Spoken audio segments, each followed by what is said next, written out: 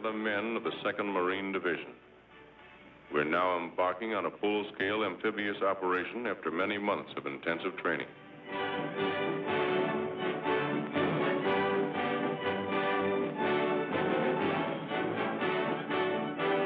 The transports are combat loaded.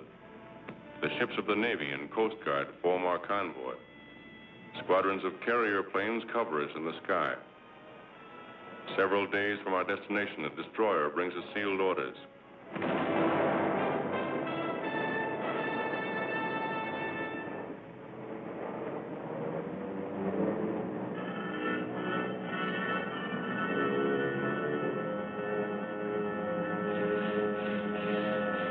It won't be long now before we know where we're bound. The relief map of our objective is broken out. Fortified island of Betio and the Tarawa Atoll, a very important Jap air base on the outer fringe of their Pacific defenses. Our platoon leaders started explaining the terrain to us. By the time they were finished, we knew that island and its reefs as well as we knew our own backyards. We built more machine gun ammunition.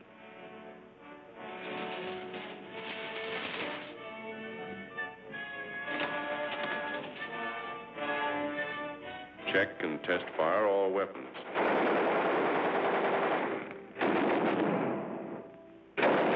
Exercise helped to relieve the tension.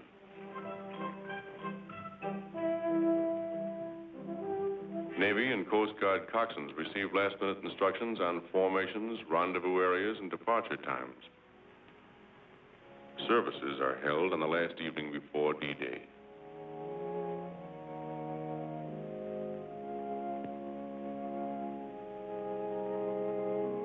liked listening to Father Kelly. He'd been with us at Guadalcanal. He had a way of saying what we wanted to hear.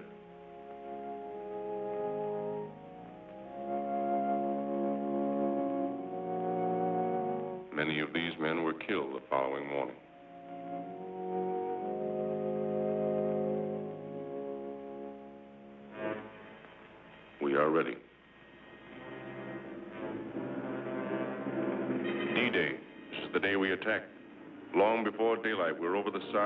Amphibian tractors and landing boats.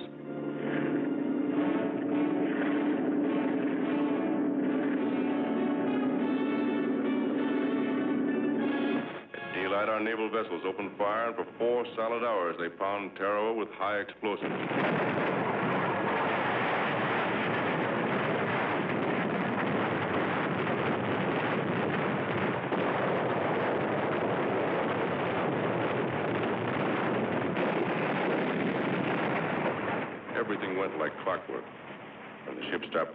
The Navy planes would take over. Bombing. Strafing. We were a team working together. Then, again according to plan, the planes withdraw and the ship's batteries open up again.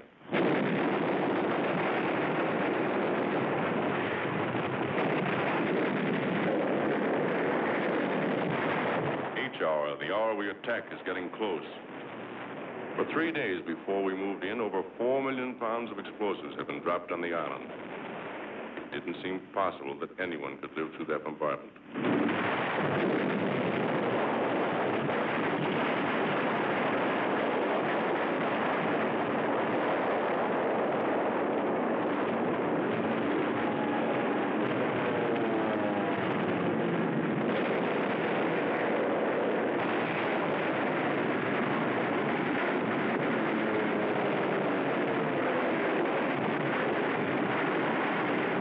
This Jap hulk, machine guns constantly strafed our assault waves.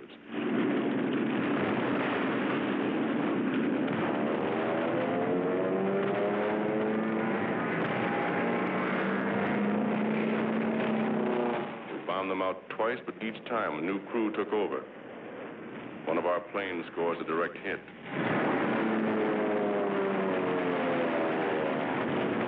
As we approach the island, we have the feeling that the show is just about over. There doesn't seem to be any organized resistance. However, we're taking no chances. Suddenly, we're met by heavy machine gun and mortar fire. It takes a heavy toll of our boats and men. It doesn't stop us.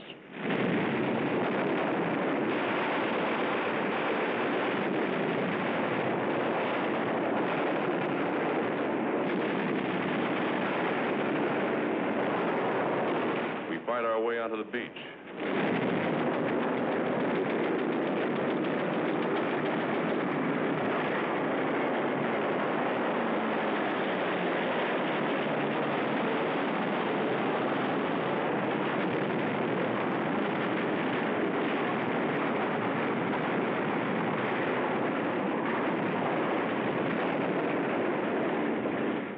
Men wade ashore from wrecked amphibians.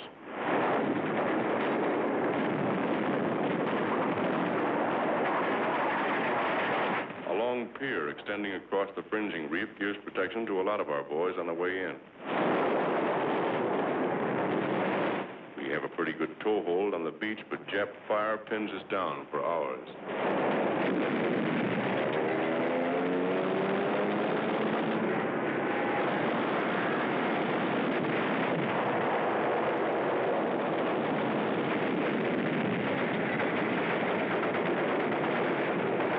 Casualties are pretty high, but as we found out later, blood plasma saves a lot of lives.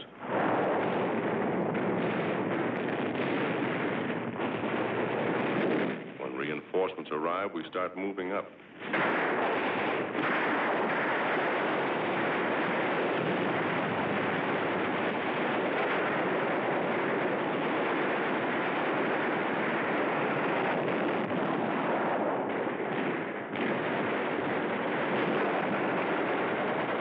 Isn't easy knocking those Japs out of their positions. They're hidden in trees, behind revetments, buried pillboxes, bomb proofs, bunkers.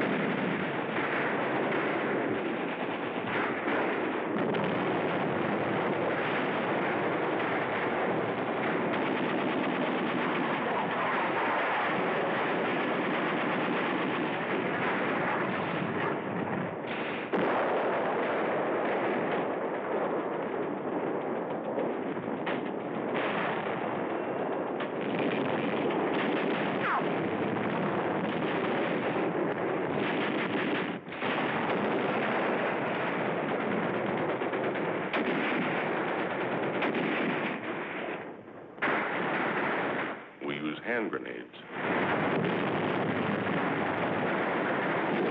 We use all the firepower we have to blast them out.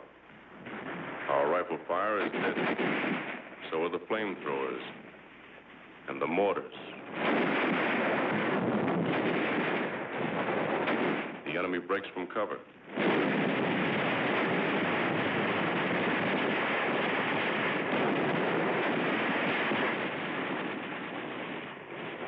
It's tough getting them out of places like this. We can never be sure where their snipers are placed. We take it slow, easy.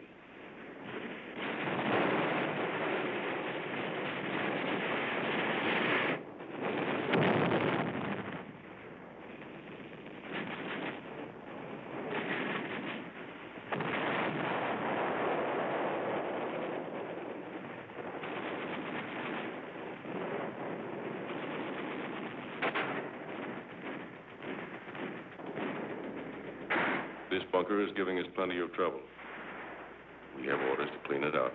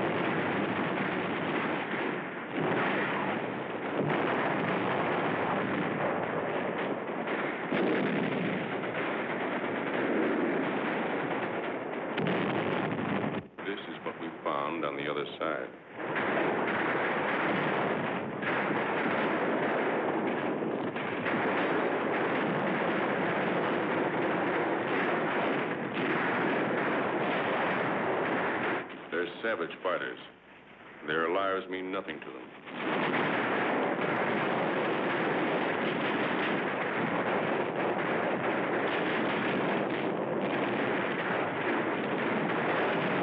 One of our boys is hit.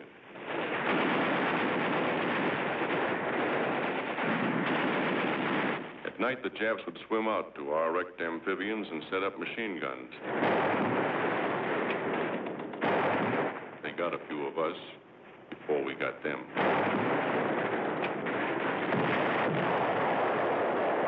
Commanding officer of the assault troops confers with his staff. One of our medium tanks remains in operation.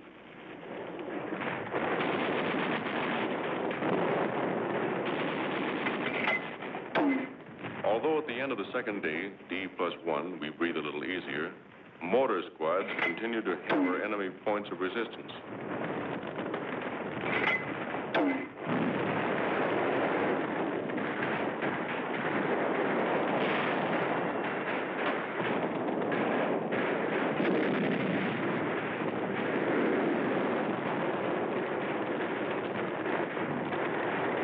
By this time, we know the Japs are licked. They must know it, too. There's still strong resistance. Nip suicide snipers tie themselves up in the trees and take pot shots at us. We hit them, but they don't fall. Just die and hang there.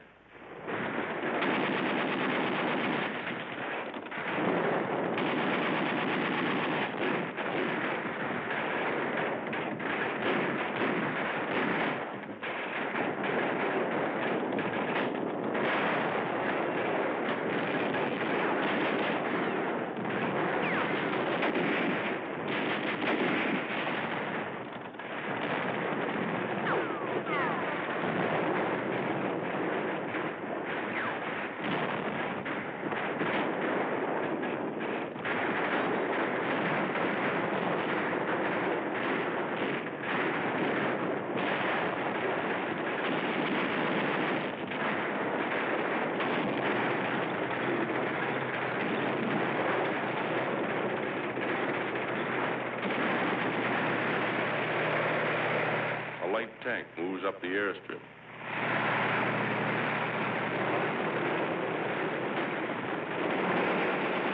One of our boys is wounded during the attack on the airfield. Another Marine goes out after him in a Jeep under heavy machine gun fire.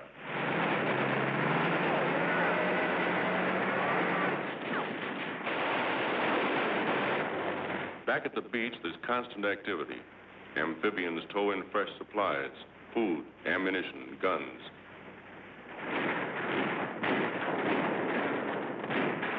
As the battle moves across the island, the chaplain's assistants tend the dead, removing the lower identification tick and leaving the duplicate on each Marine so there'll be no mistake later on.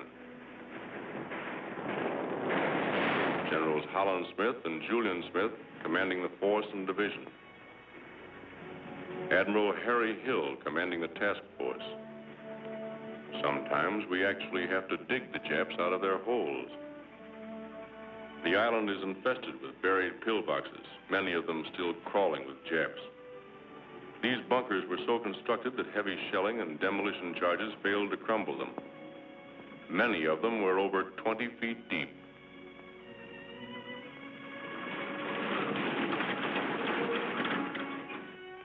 Our first prisoners.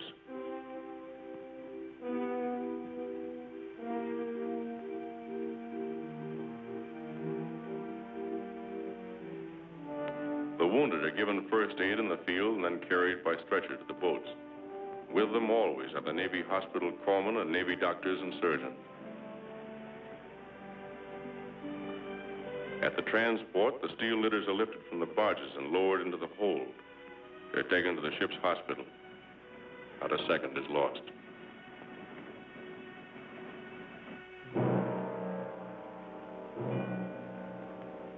These are Marine dead. This is the price we have to pay for a war we didn't want. And before it's over, there'll be more dead on other battlefields.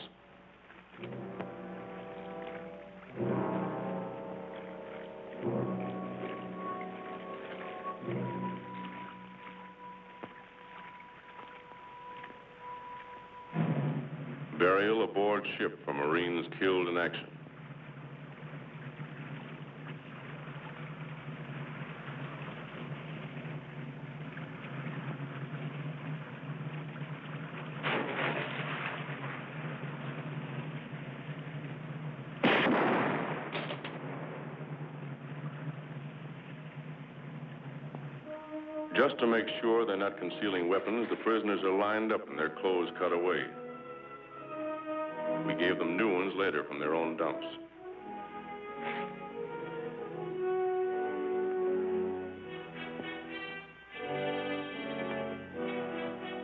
The rest of the island's defending force is dead.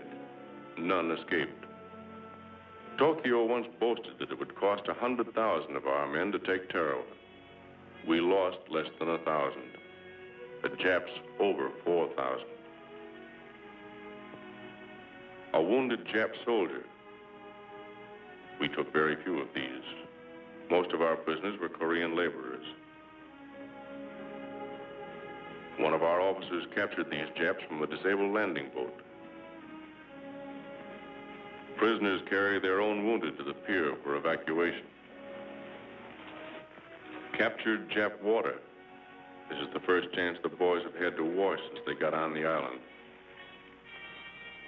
Gunfire from our warships knocked these big guns out early in the bombardment. These were English Vickers guns captured by the Japs in Singapore.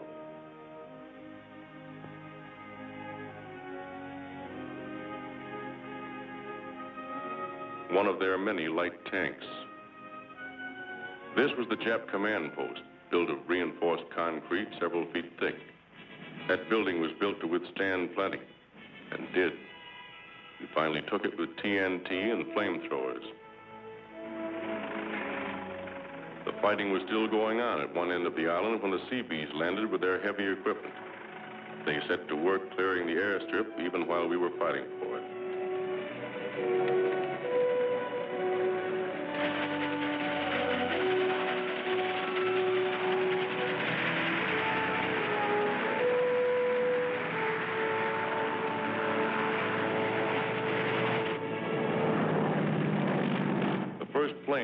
just 24 hours after the Seabees had started to work.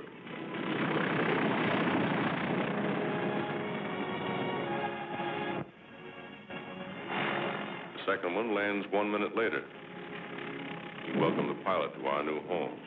It was our first chance to thank those guys for the swell job they did for us before and during the attack. On D plus four, our relief came in. Maybe you think we weren't glad to see them.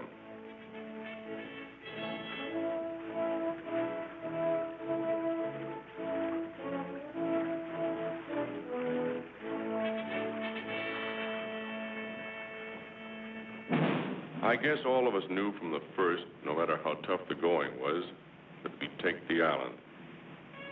Just the same, the day the colors were run up on this palm tree and flew for the first time over Tarawa, we got a lump in our throats. We were mighty proud.